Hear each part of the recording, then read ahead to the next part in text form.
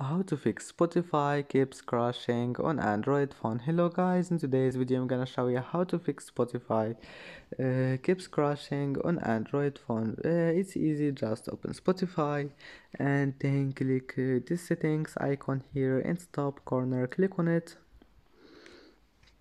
And here we'll find Spotify settings. Now all you need to do just scroll all the way down and here we'll find uh, clear cache click on it and then clear it.